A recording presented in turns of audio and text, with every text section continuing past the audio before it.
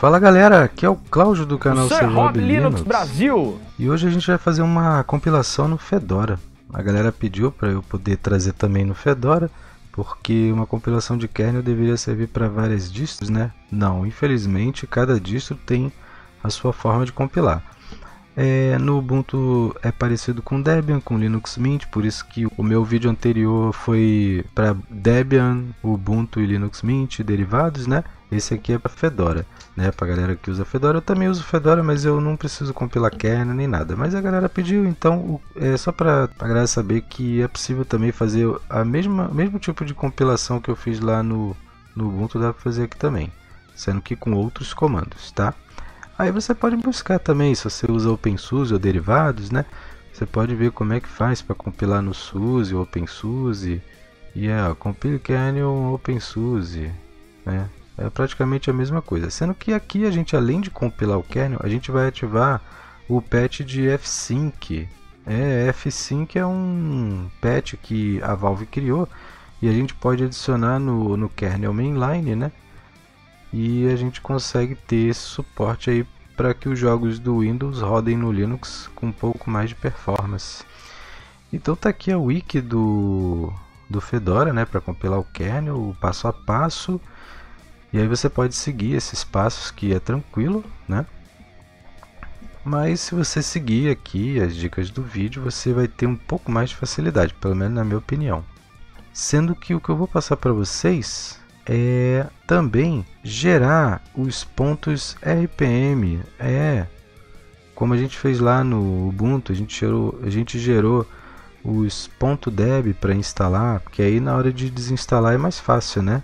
A gente desinstala os pacotes. Aqui é o site do Fedora Magazine e ele, ele indica também como você pode fazer isso de outra forma usando o FedPKG. Também é uma outra forma de fazer. Tá? Vou deixar o link desse, desses sites para que você escolha a, a forma que você achar melhor. Bom, então o nosso velho conhecido terminal, né? A gente vai usar ele a partir de agora para fazer quase tudo, pelo menos a maioria das coisas. E eu fiz questão de fazer esse vídeo no Fedora 30, por quê?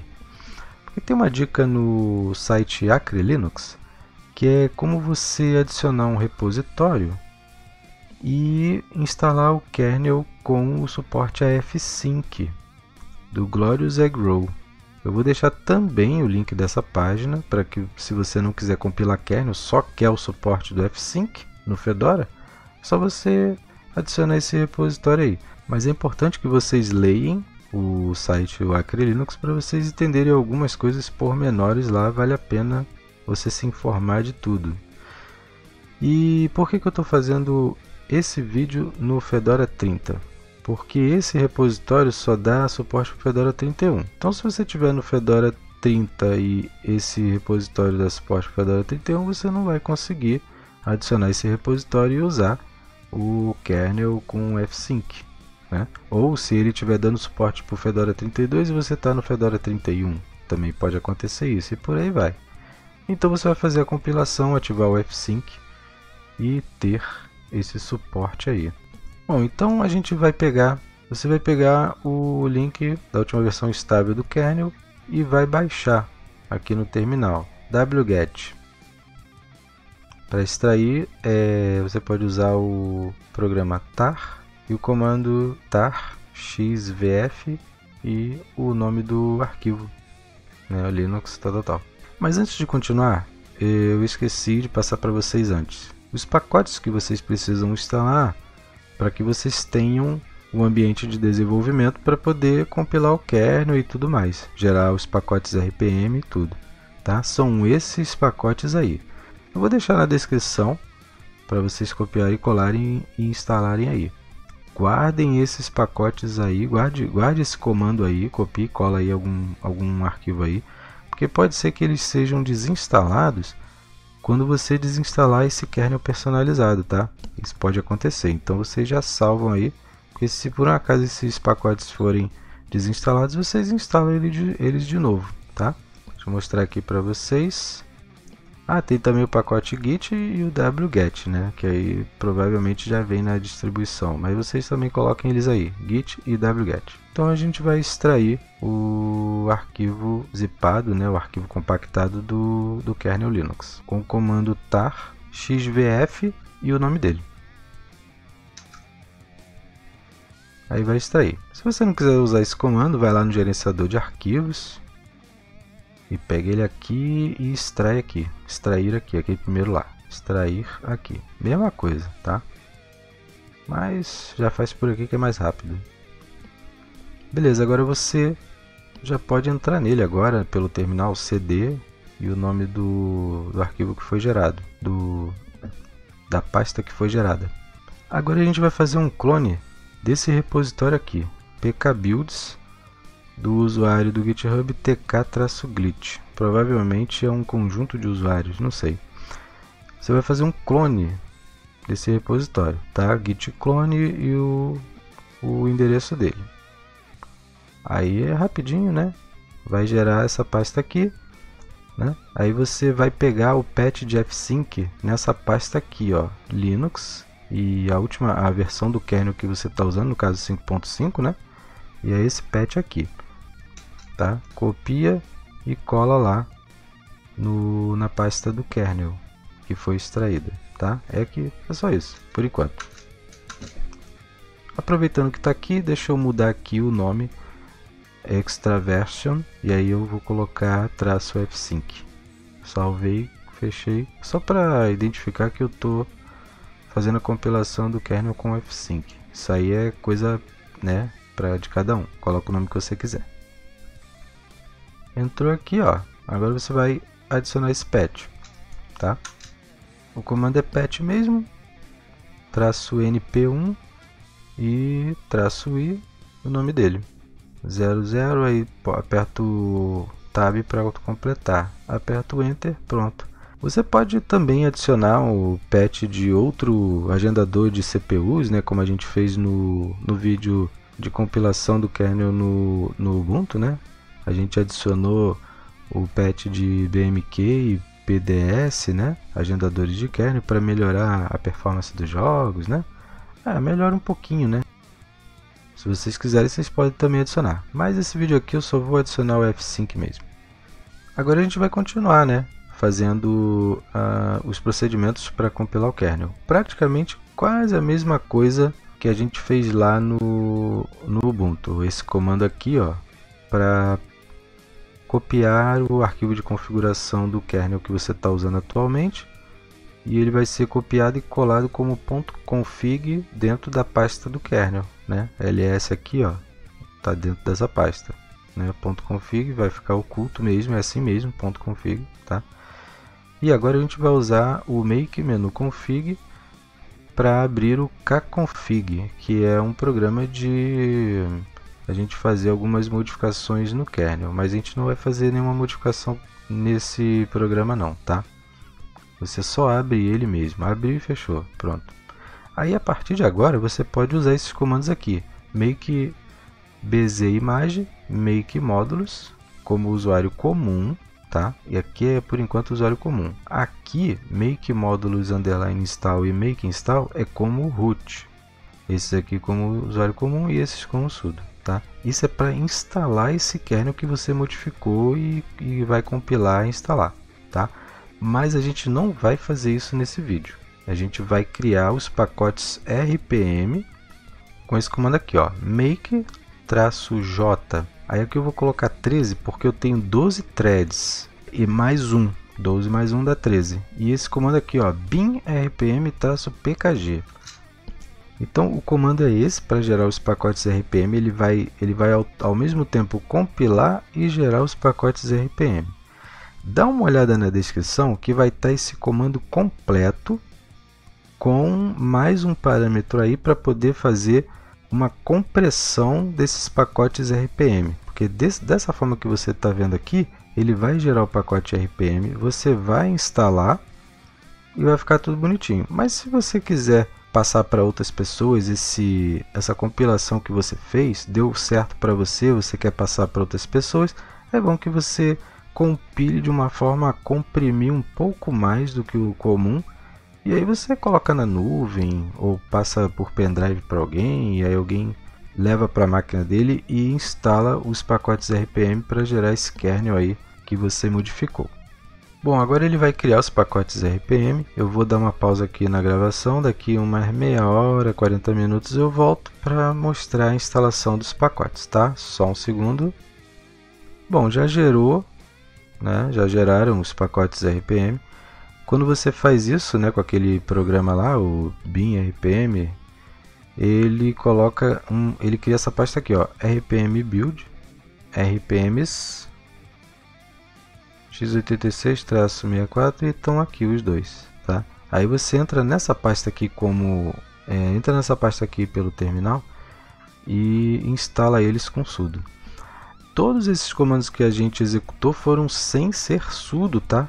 Até agora a gente não usou o usuário administrador, mas para instalar os pacotes RPM a gente precisa usar o sudo. E aí você entra na pasta cd, rbuilds, né, tal, tal, tal, e dá um ls para ter certeza onde você está e usa esse comando aqui para instalar eles, ó, sudo dnf install ponto barra asterisco ponto rpm.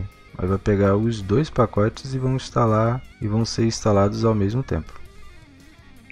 Aí os dois pacotes que vão ser instalados são esses dois aqui, ó. É, depois, se vocês quiserem desinstalar, vocês peguem esses nomes que vão aparecer aí agora. Ó. Quer ver? Olha lá. Kernel Readers, né? Esse, esse nome todo ali embaixo, né? E esse nome todo aqui. Vocês pegam os dois e desinstalem os dois, se vocês quiserem desinstalar, tá? Se vocês não gostarem, se vocês não... E tem uma coisa também que uh, eu preciso falar para vocês. Esses kernels não servem 100% para o uso comum, tá?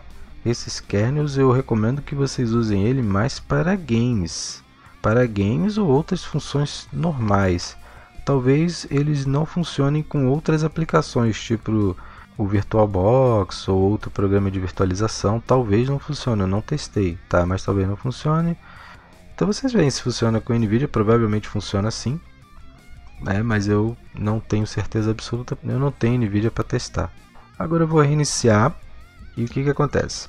Já vou baixar a Steam, já vou atualizar o Mesa 3D com o repositório do Nad Martin, vou baixar o jogo Resident Evil 3, já que é um jogo do Windows rodando no Linux, e vou mostrar para vocês se o F5 é ativado ou não. Vamos lá?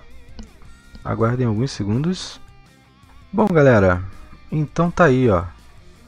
Steam, Resident Evil, aqui o F5, ó.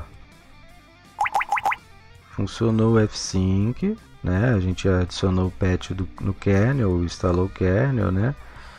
E tá aí, só para provar para vocês que o F5 funciona com esse kernel. E aqui o Resident Evil 3, né, versão demo, Recon City, né? E eu abri ele uma vez e ele falha porque ele tenta abrir em DirectX 12. E aí vocês deixa falhar, né? Vai lá na, na pasta do, do jogo e vai na, no, no arquivo de configuração e muda para DirectX 11. DirectX 11 a qualidade é muito boa. O DirectX 12 infelizmente não roda no Linux. Roda mal. E, ou trava. Bom, aqui eu estou fazendo uma gravação um, com uma qualidade razoável, porém, infelizmente, a captura dos movimentos não ficou muito legal. Mas aqui para mim o movimento está perfeito, mas na gravação, né, o, o programa que eu usei para gravar não ficou legal. Eu teimei em não usar o OBS porque o, o OBS diminui um pouco uh, os frames por segundo totais. Então eu teimei em não usar ele, mas tudo bem. Eu vou usar ele depois para gravar a gameplay que a gente vai colocar lá no canal de games Serob Linux Games, tá? Então vamos começar a jogar um pouquinho aqui só para vocês verem a qualidade, a quantos frames esse jogo está rodando e se valeu a pena colocar F5 Bom, então tá aí, depois de ter conversado com essa galerinha aí dentro do, do, do metrô, do trem aí. Um, o movimento tá perfeito aqui para mim, tá? Só que não, o programa de captura não tá capturando muito bem, tá dando umas certas falhas, né? Na hora de jogar eu não percebo. Só depois que a gravação terminou que eu percebi isso. Eu tô me mexendo aqui para testar, né, para ver a movimentação. Tá normal. Vocês veem ali, a quantidade de frames por segundo é gigantesca, é mais de 100, né? 200 quando tá nessa partezinha de menu aí. Ou quase 200.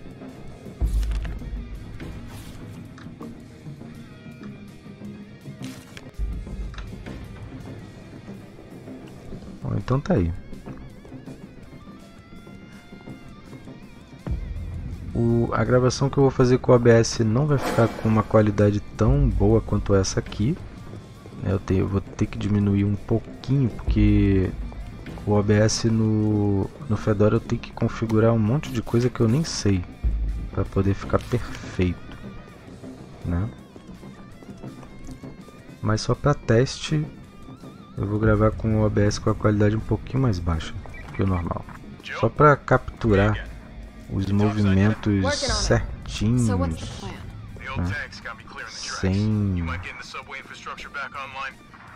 sem falhar do jeito que vocês estão vendo.